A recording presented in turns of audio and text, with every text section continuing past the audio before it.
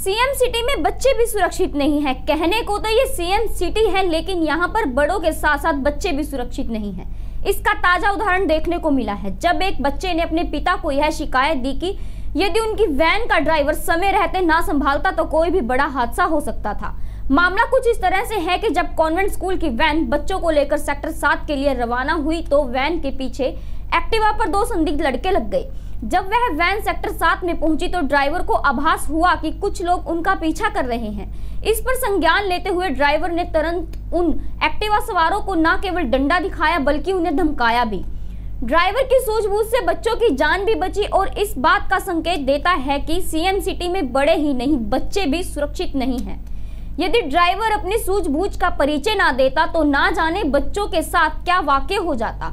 ऐसे में ज़रूरत है अभिभावकों और स्कूल प्रशासन और अन्य लोगों की जिम्मेवारी बनती है और उनके बच्चे कैसे स्कूल जा रहे हैं और कैसे आ रहे हैं, इस बात पर ध्यान दें।